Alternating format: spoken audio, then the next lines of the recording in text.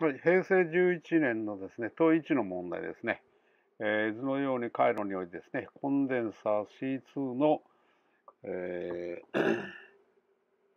両端のですね、電圧を 50V とするにはですね、コンデンサー C1 の静電容量いくらかということですね。ということは、あの C1 の電圧は 150V ですよと、こういうことであります。Q イコール CV をね、えー、変形すればできる問題です。これはね、あのコンデンサー直列にで、ね、接続した場合はですね、あのコンデンサーの容量に関係なしにあの蓄えられる電荷量は等しいと、えー、C1V1 イコール C2V2 ですね。これから C1 を誘導することができます。